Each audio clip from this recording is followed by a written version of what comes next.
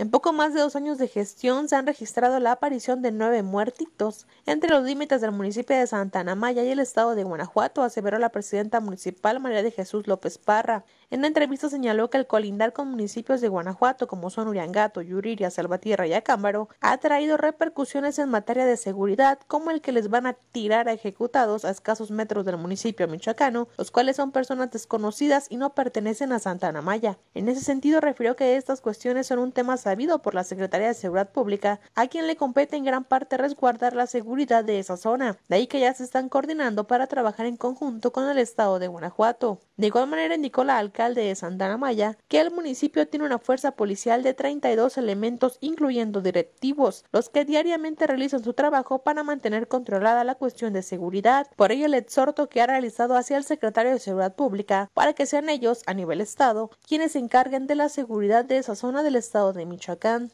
Jessica Aguirre, respuesta